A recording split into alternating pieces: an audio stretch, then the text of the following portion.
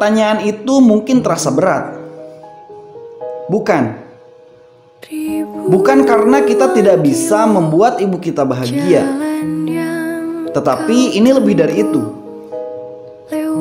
Kita tidak akan pernah bisa membayar semua tetes air susu, keringat, darah, air mata, waktu, dan tenaga ibu saat mengandung, melahirkan, dan membesarkan kita.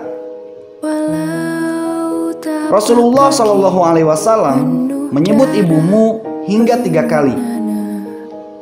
Saat menjawab pertanyaan dari seorang sahabat tentang siapakah di dunia ini yang harus dihormatinya,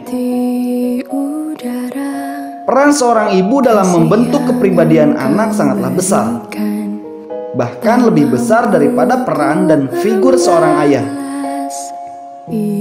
Tidaklah berlebihan jika kemudian muncul ungkapan bahwa surga berada di bawah telapak kaki ibu. Kebahagiaan ibu tidak selalu diukur dari seberapa banyak kita memberinya hadiah atau seberapa sering kita mengajaknya berjalan-jalan atau seberapa sering kita bercakap-cakap dengannya. Kebahagiaan ibu boleh jadi bisa didapatkan dengan hanya menyaksikan kita tumbuh dan berkembang seperti yang diharapkannya. Kebahagiaan ibu paling tidak bisa kita persembahkan kepadanya dengan menjadikan diri kita sebagai anak yang soleh dan soleha.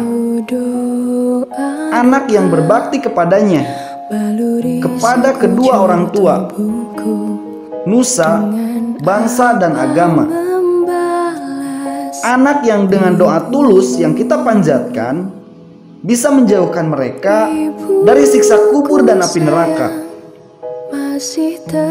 Semoga kita semua termasuk kaum yang bisa membahagiakan ibu kita.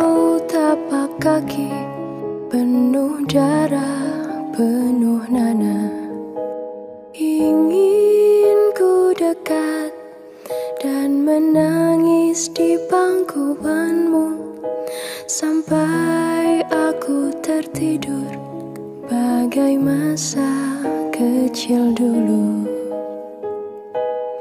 Lalu doa-doa baluri sekujur tubuhku dengan apa membalas ibu. ibu.